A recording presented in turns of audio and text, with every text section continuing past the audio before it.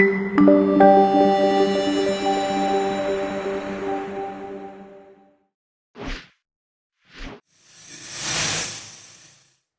right, next up we have Russ Ryba with Lunabotics. Where you at, Russ?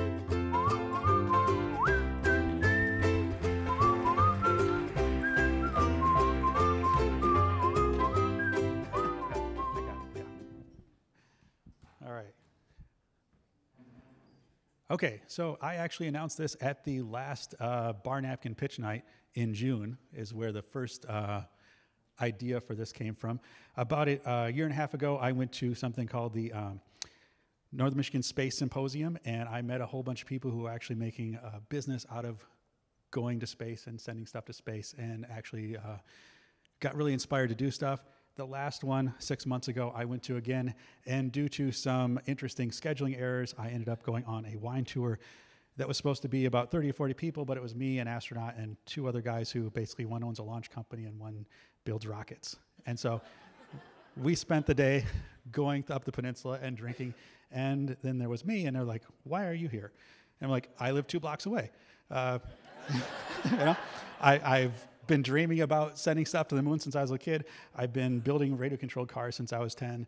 Uh, rover, or not rovers, but like drones, everything else. I built 3D printers. I program CNC machines for a living, and there, and my dream was to uh, also take the video game stuff I do and send a robot to the moon, controlled by virtual reality. Uh, it's only 1.3 light seconds away, which basically means a three second lag time, and you could actually pilot a robot on the moon. And so that was my dream. I pictured you could take this robot, bring it to a classroom, put the helmet on with the kids uh, with one video stream. Everyone could look around in real time and actually explore another planet and get people to actually fall in love with another planet, or possibly do the same thing on the moon since it's much, or on the Earth, and make them fall in love with their own planet. And so that's kind of my background, my motivation to do it. Um, so this is sort of my general idea of how to do things. Um, based on that night, uh, that uh, just all the connections I made, um, we've actually come up with some actual business plans on how to do this. I've got some estimates of between uh, three to five years, five to fifteen million dollars, and of course, I am me. I am a single dad, and I have kids in school. And so, uh, what I've been doing is basically just traveling around. Um, and trying to convince people to uh, help me pursue my dream. So, this is just some interesting facts about the moon. Basically, it's the top picture up there is the actual stuff to scale.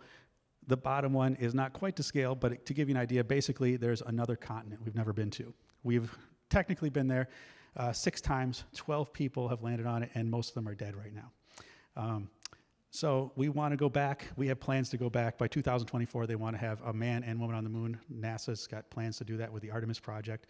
Uh, there's multiple countries, multiple companies all planning to go back. Uh, and I plan to go with them at some point. So there's some challenges, okay? We can all build rovers and stuff like that. We can build robots. Uh, but the moon is actually pretty harsh because, unlike Mars, even there is no atmosphere. Uh, you're coming in, you have to basically uh, completely bring all the fuel, not just to get there, but also to slow down to stop without making a crater. Once you're there, the temperature basically goes up to just above boiling during the day and uh, negative 100. Basically, battery chemistry stops working at night. So nothing non nuclear has ever worked over the lunar night, which is basically the two weeks when you don't see the moon.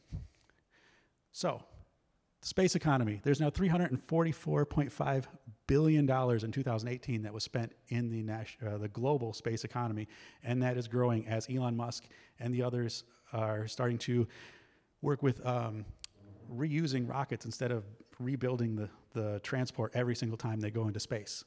So one thing they don't have is the lunar robotics because we have never been there. Okay, so we've never gone back for 50 plus years. Uh, so all the challenges I don't have to deal with. How do we get the rocket there? I don't know. Uh, how do we land? I don't know. Other companies are solving everything that's hard. How do we transmit the data? There's, uh, there's like 10 companies figuring out every single piece of this.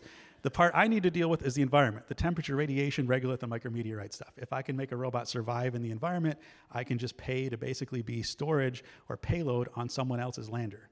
Uh, we should have a new lander on the moon ideally next year, sometimes in 2020. So, uh, space tourism. The idea I have is basically virtual space tourism. Uh, right now, trying to send a person up to the moon um, or even into lunar or, or, low Earth orbit or the ISS. Uh, to go to the International Space Station, you can do that right now for $40 million. Uh, Virgin Galactic charges $250,000 for a 10 minute flight into lunar or sorry, low Earth orbit. Uh, you can see the other prices up there. I don't need to read them for you. So um, there are those three companies planning lunar landers. I basically am just going to be cargo on their ship.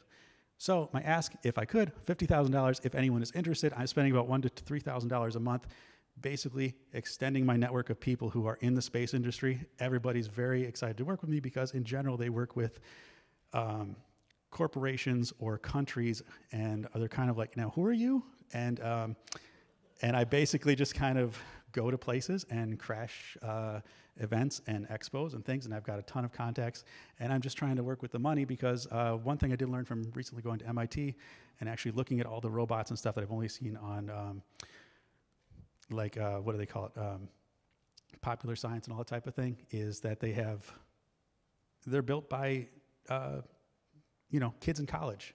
I know how to do that type of stuff. What I don't have is basically the time and the money. So I have one more kid in school. Uh, the other one just went to college, which means no child support, lots of extra time, lots of extra money. I'm turning it into this pro, this uh, project, and in the two years until my, my next daughter goes to college herself, I intend to either be uh, an employee of one of these companies or a competitor to them. All right.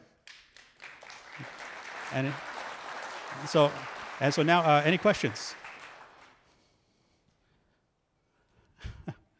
Yes. Um, I have built a self-driving car based on Raspberry Pi and Arduino, and it uses the Deep Space Network Protocol to communicate, even though it doesn't need to, but because that is what the lunar landers of the various companies will be using to communicate.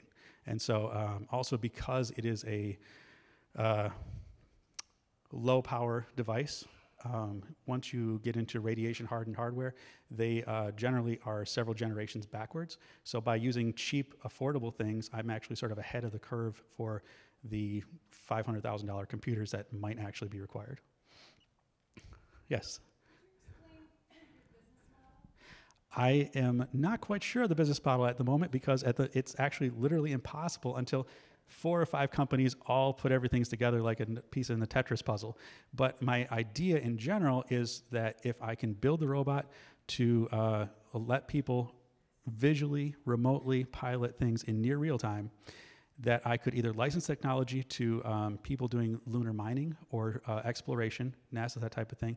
Uh, if I can come up with a protocol to do virtual reality, there are some ideas I have to take uh, FPGA and some other things to um, possibly make a virtual reality specific protocol. And then there's also really tight bit compression, which I've actually done before for a local company doing uh, satellite communication. And so I know how to do uh, uh, satellite network design.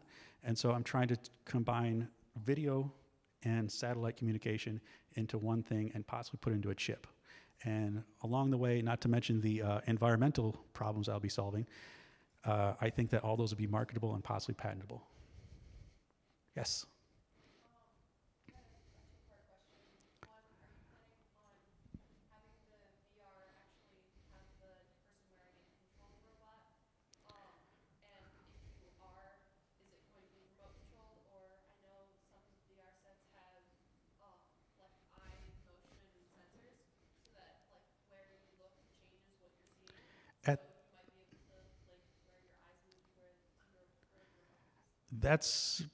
more of the nuance of actual control. The current thing I'm trying to do, which actually has already been done by NFL, is to take one visual data stream and let multiple people do virtual reality at the same time from the same stream. So one person could be the pilot, and everyone else in the classroom could actually look around. Or uh, not necessarily classroom, but the network operations center. So at any point in time, someone could just put on a helmet and actually see what their individual robots are doing on the moon. Once you go to the moon, robots are going to have to be relatively specialized. Uh, the rover at the moment that we have on Mars are basically uh, tourists. They're out there like taking samples and taking pictures, but they don't really do much. We're going to the moon, we're probably going to stay next time, and they're going to actually be constructing um, habitats and that type of thing. So they're going to have to do a lot more. Um, they're going to be specialized, and you're going to want to know what they're doing. And regardless of what your sensors are saying, visual data is going to give you much better input to the operations of your devices. Anyone else? One more question. Yes. Power source at the moment is pretty much going to be lithium ion batteries. I have some plans to possibly survive the lunar night using um, some different things that I've been talking to people in different labs about. If I actually get this money, I would probably, I have, uh, I've been invited out to NASA Ames Research Center in California, which is basically Silicon Valley NASA. Um, and then somebody there is going to actually talk to me about how to do that. And, uh, but basically anything non-nuclear doesn't survive to negative 180 Celsius. Thank you. Thank you, Russ.